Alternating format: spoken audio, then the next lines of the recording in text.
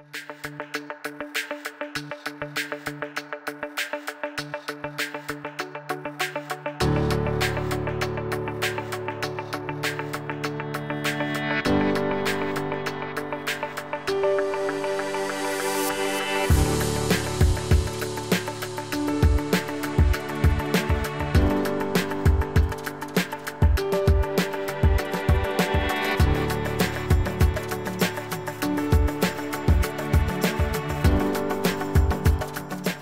By definition, traditions are long established customs and beliefs handed down from one generation to the next.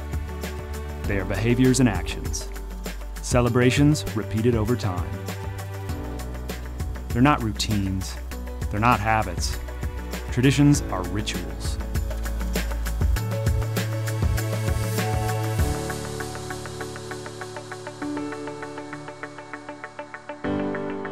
They're the perfect, timely reminders to take a break from the busy cycle of life, celebrating family and friends. Traditions are stories. They provide escape, inspire sharing, encourage learning, and living.